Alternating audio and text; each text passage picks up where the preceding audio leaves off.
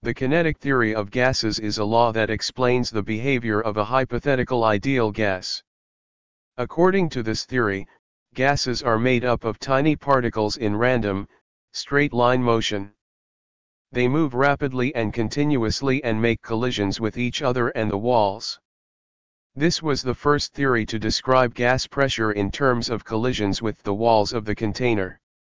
Every gas consists of a large number of very small particles called molecules. The molecules of a gas move haphazardly colliding among themselves and with the walls of the container and change their direction. The pressure exerted by a gas in a container is due to the collisions of its molecules with the walls of the container. The collisions among the molecules are perfectly elastic. The molecules of a gas are widely separated from one another and there are sufficient empty spaces among them.